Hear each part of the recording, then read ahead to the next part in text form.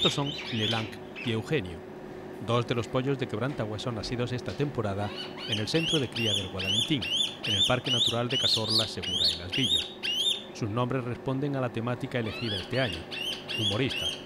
En los nidos, con sus padres, ya están Charlotte, Cantinflas y Gila. A través de las pantallas de televisión, los técnicos comprueban que nada falle. El sistema de videograbación es observado durante las 24 horas del día porque inicias con acicalamientos mutuos, cópulas, incubación de huevos, que eso tienen que estar controlados al 100%. Que no haya problemas de que alguna pareja deje de incubar o que algún huevo ruede fuera del cuenco y se quede eh, sin aporte de calor de los padres y tal. Y una vez que faltan aproximadamente 5 días para la eclosión, retiramos esa puesta, se colocan huevos de escayola en el nido para que los padres sigan incubando y las eclosiones se controlan aquí en el laboratorio. Una vez que el pollo eclosiona, si todo va bien, pues lo alimentamos durante 4 o 5 días, 6 días, dependiendo del pollo y también y de la pareja a la que se lo vayamos a adoptar. Hay que tener mucho cuidado en no, no excederte en la ceba o no quedarte corto, en fin, eh, y cada pollo demanda una cosa diferente. Aquí ahora mismo tienes un par de pollos, uno de ellos mm, digiere con una rapidez increíble, está siempre con hambre, siempre con hambre y, a lo mejor le estás dando las mismas cebas o el número, la misma cantidad de cebas que a otro, ¿no? Cada uno es un mundo. Es importante que haya un aumento de peso, es muy exponencial además en la primera semana de vida. Eh, damos de comer a las 8 de la mañana, a las 12, a las 4 y ya por último, la última ceba a las 8 de la tarde. Tampoco cebamos durante la noche para que estos pollos que van a estar 3, 4 o 5 días en laboratorio no se vayan al nido pidiendo durante la noche. ¿no? La crianza deben continuarla los padres una vez que el pollo se devuelva al nido. Un momento delicado. Eh, sobre todo con parejas primerizas, porque no saben cómo te van a reaccionar. No más porque lo rechacen, porque el instinto paterno y materno es muy fuerte, sino más por el nerviosismo que le produce el que tú le metas un pollo en el nido. ¿no? Hay que estar muy pendiente sobre todo los primeros días después de la adopción, porque hay veces que las parejas no ceban bien o ceban poco, entonces hay que entrar eh, algunas veces una vez al día, dos, dependiendo del caso a dar nosotros una ceba al pollo para que el pollo no se venga abajo hasta que los padres cojan un buen ritmo de, alimentación del, pollito. Cuando el pollo es muy, muy, muy pequeñito, a lo mejor te ves obligado a entrar dos, tres veces al nido a dar ceba suplementaria. Eh, cuando van dando de comer a lo largo del día de una manera regular, aunque escasa, pues entras al final del día o al final de la tarde, mejor dicho, das una ceba suplementaria que te asegure que el pollo pues, no se va a venir abajo, por hambre, obviamente. Por este laboratorio han pasado 76 pollos. Guadalentín se ha convertido en el centro de cría del quebrantahuesos más importante del mundo. Este centro eh, lo que se encarga es de eh, producir pollos que sean viables para la liberación al medio natural e ir aumentando la población y afianzando una población que en un futuro, a medio o largo plazo, sea capaz de eh, autorregularse y que nosotros no tengamos que seguir interviniendo. Es importantísimo ahora mismo sacar pollos en cautividad el máximo posible en una época de cría pues para poder mm, ir distribuyéndolos por todas estas zonas europeas donde es importante esta reintroducción.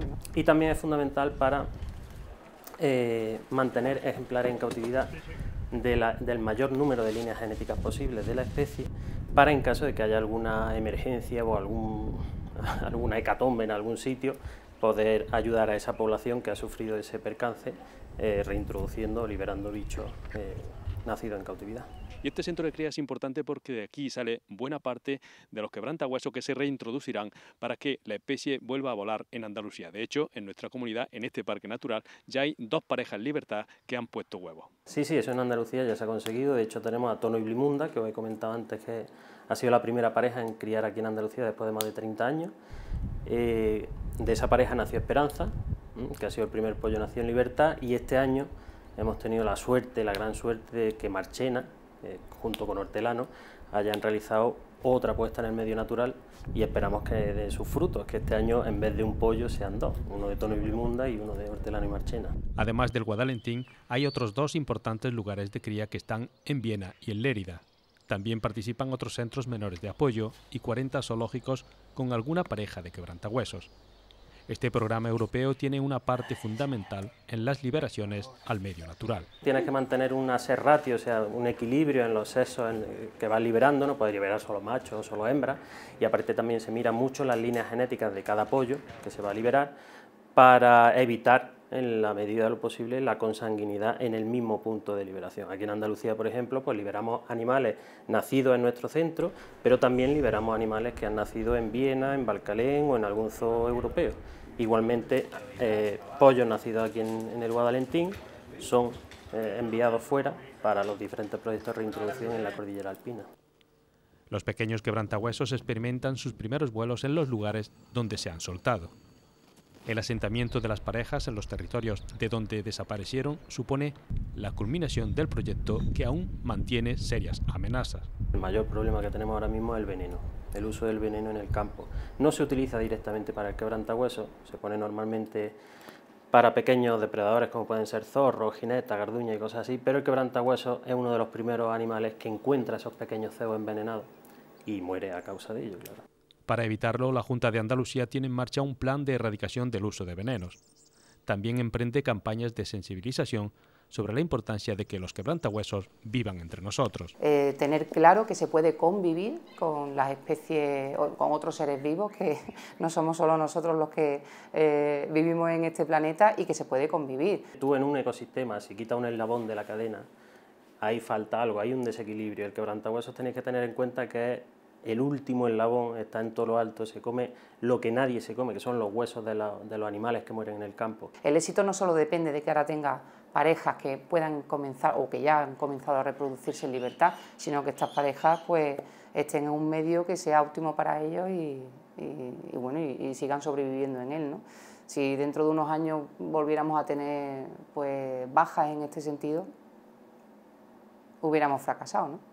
Creo que moralmente, si, si la especie humana, si el ser humano ha sido la responsable de la extinción de esa especie, moralmente, éticamente, hay que devolverla a su medio. En ello se afanan quienes trabajan desde hace tres décadas en que los demás gocemos de la compañía de una especie a la que le hicimos la vida imposible.